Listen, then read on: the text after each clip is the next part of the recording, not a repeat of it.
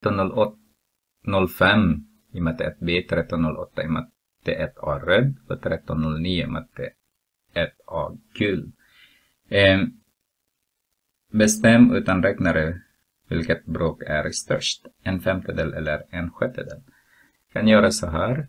Ska jag ska skriva en, en sjättedel och med en femtedel ska det vara först.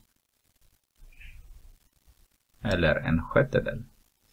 Eh, en grund, ett grundläggande begrepp är att om täljaren är lika, som vi ser här, och nämnaren är mindre, då är det större. Så den här är en femtedel är större än en sjättedel. Därför den här är större än 6. Så länge de är de har samma eh, täljare.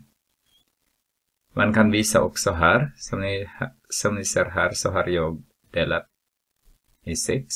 Så. En figur. Jag har delat upp i sex.